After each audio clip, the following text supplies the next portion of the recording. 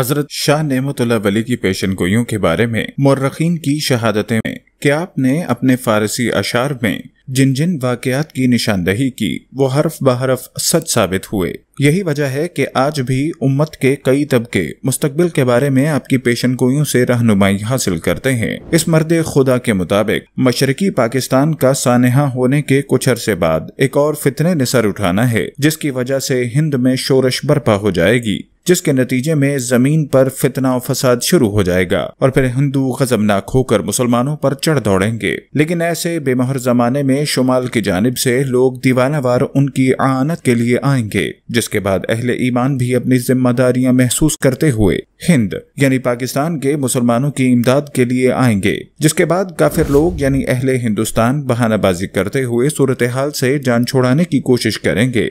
लेकिन अब क्या उनकी ये चाल कामयाब न हो सकेगी? लेकिन इस जंग से कबल नेमतुल्ला शाहवली अपने अशार में मुसलमानों की हालत जार की अक्कासी भी करते हैं, ताकि मुस्लिम उम्मा दीन इस्लाम पर कारबंद रहते हुए अपने अखलाक संवारें और बातिल कुतों के खिलाफ जहाद के लिए हम वक्त तैयार रहें। वो फरमाते हैं, तर्जुमा, सब मुसलमान नवाज़ से गाफिल रहेंगे, लोग शहवत के कैदी होंगे, दुनिया में ऐसा ही होगा।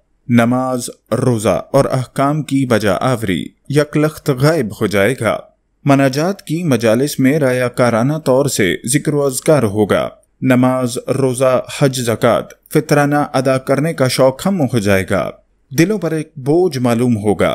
तर्जुमा, एक जमात मजबूर लोगों से सूद लिया करेगी। उन पर लानत हो। ये सर पर खजाना रखे हुए होंगे। मुहर्रम के महीने में मुसलमानों के पास हथियार आ जाएँगे। मुसलमान उस वक्त जारहाना कदम उठाएँगे। नाजरीन, आप देख रहे हैं यूट्यूब के इस मोतबर और जिम्मेदार चैनल स्प्रेड दी इस्लाम को, जिसने अपनी आज की इस वीडियो में जनाब शाहजी की पेशन गोइयों के तनाजुर में आमदा हालात वाकयात की तस्वीर कशी की कोशिश की है। मोज़ खवतिन हजरात, दुनिया में अब तक दो अफराद की पेशन गोइयों के बारे में मोतबर आरा मौजूद हैं। जिनमें से मगरब के नोस्टोडोमस की कही हुई कई एक बातें सच्ची साबित हो चुकी हैं। लेकिन बाज ऐसी भी हैं जिनकी सच्चाई की अब तक कोई शहादत और आके तारीख का हिस्सा नहीं बन सकी, जबकि दूसरी शख्सियत आज से साढ़े आठ सौ साल पहले पैदा होने वाले एक ईरानी सूफी नूरुद्दीन अलमारूफ नेमतुल्ला शाबली हैं, जिनकी कही हुई एक एक पेशन गोई हरफ बहरफ सच साबित हो चुकी है। उनका इर्शाद है की भारत के हुक्मरान अपनी आदत के मुताबिक एक शरारत करेंगे, जिसकी वजह से जंग का शोला भड़क उठेगा, जिसकी इब्तदा में मुसलमानों को कुफार के मुकाबले में अगरचा नुकसान उठाना पड़ेगा, लेकिन जल्द ही चीन, ईरान और अफ़गानिस्तान से लोग उनकी दीवानावार इमदाद के लिए आएँगे। हज़रत शाह वली फरमाते हैं कि इस मौके पर मुसलमान गाजियों से ज़मीन इस तरह लर्जेगी जिस तरह जलजला आए तो वीरान खबरें लरजने लगती हैं।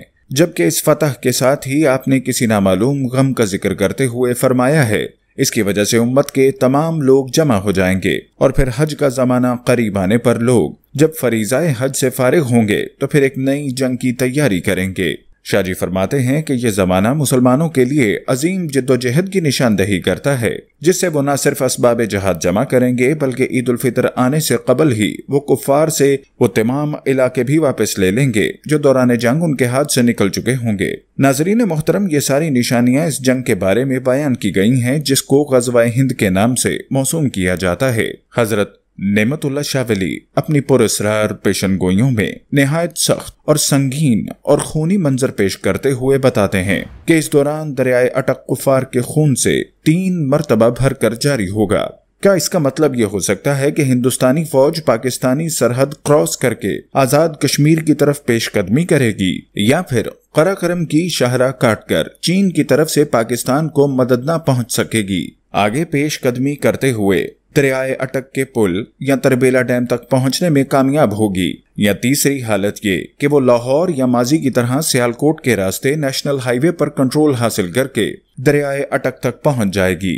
ये सवाल जहन में इसलिए उभरता है कि कुफार गालिबन भारतीय फौज दरियाए अटक तक पहुंचेगी, जबी तो कुफार के खून से दरियाए अटक तीन मरतबा भर कर जारी होगा।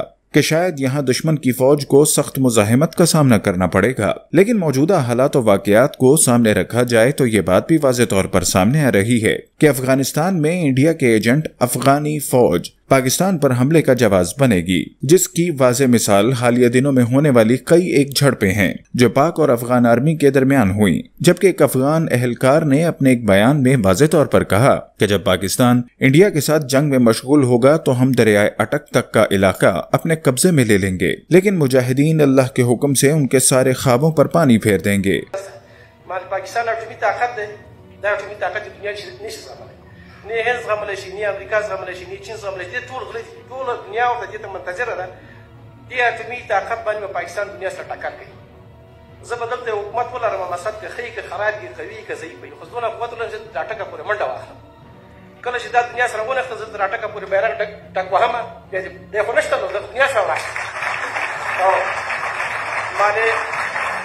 नेमतुल्ला शाह फरमाते हैं कि इस खूरेज जंग के बाद मुसलमान हिंदुस्तान के बादशाहों को जंजीरों में जकड़ कर लाएँगे और यूँ अल्लाह रबुल्जत की जानब से उन्हें फतह मुबीन हासिल होगी। नाजरीन मोहतरन महक्कीन के मुताबिक ये वही जमाना होगा जब अरब में इमाम मेहदी रहमतुल्लाह का जहूर हो चुका होगा और गाजियान इस्लाम इस जंग से फारिग होने के बाद मशरक से मगरब का रुख करेंगे, जिनके काले झंडे यानी स्या परचम होंगे, जिनके बारे में हदीस में यह गवाही मौजूद है कि वो अरबों से ज़्यादा अच्छे शाह सवार और जज्बा जहाज़ से लैस होंगे, बल्कि उनके पास अपने अहद के जदीद तरीन हथियार भी होंगे। जिनकी बदौलत हज़रत इमाम की हकूमत को तकवीत हासिल होगी, जिसके बाद सालों तक जंगों का एक ना खत्म होने वाला सिलसिला जारी रहेगा और मुसलमान फतेयाब होते रहेंगे। हती के इसी अहद मुबारक में जनाब ईसा इबन मरियम का दोबारा नजूल होगा, जिनकी क्यादत में मुसलमान यहूदी फौजों से जंग लड़ेंगे, जिनकी क्यादत तजाल अकबर के हाथ में होगी। और आप इस लाइन को अपने दस्ते मुबारक से कत्ल करके मुसलमानों को अपने नेजे पर उसका खून दिखाएँगे और यूँ ये फितना दूर हो सकेगा।